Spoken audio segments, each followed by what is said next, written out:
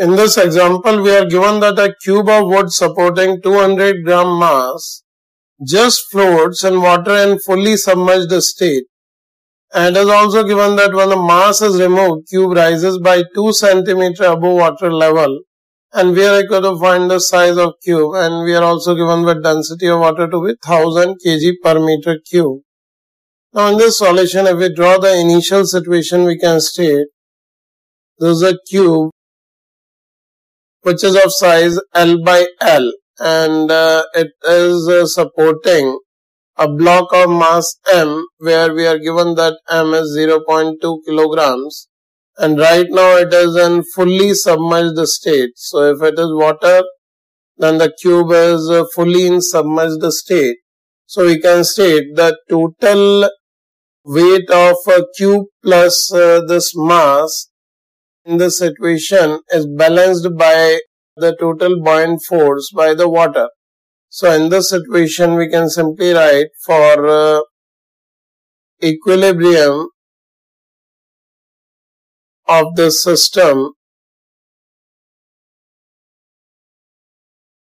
we use here we can easily use the weight of uh, this wooden block can be written as uh, L cube is its uh, volume multiplied by density of wood multiplied by G. This is the total weight of this uh, cube plus uh, the weight of uh, this mass can be written as 0.2 G and the total weight of this system is balanced by the buoyant force due to the weight of water displaced by the cube.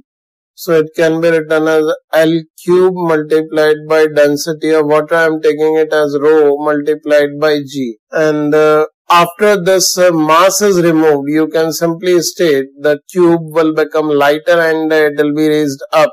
So we can say after the mass is uh, removed, the cube will rise above a water level say by some distance h so in this situation, we can say if this distance is h, still the submerged part of cube uh, below the water level can be written as L minus h.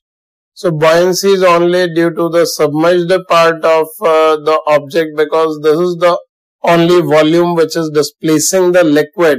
So in this situation, we can simply state after uh, removal of block here we use in this situation uh, again we can state that total weight of uh, this block is balanced by the buoyant force so it can be written as L cube density of wood into G must be balanced by the buoyant force which is the weight of liquid displaced. So here the volume of liquid displaced is uh, L minus H multiplied by L square into density of water into G. Now, in this expression, g we can cancel. Here also we can cancel g.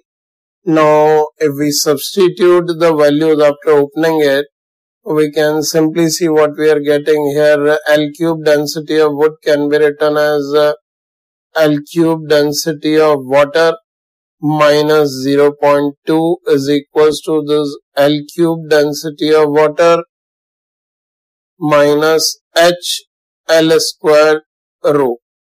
So in this situation, this term also gets cancelled out.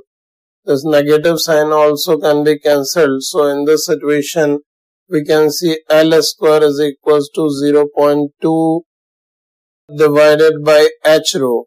As it is given that uh, when the block is removed, the level of a cube will rise by 2 centimeters. So here this H can be written as 0.02.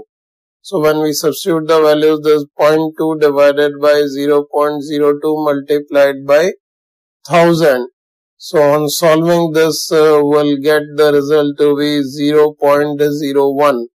So if L square is this, L can be written as 0.1 meter, which is equal to 10 centimeter. That is the answer to this problem as uh, we are just required to find the dimensions of the cube. We are required to find the size of cube. So it is a cube of size 10 by 10 by 10 centimeter.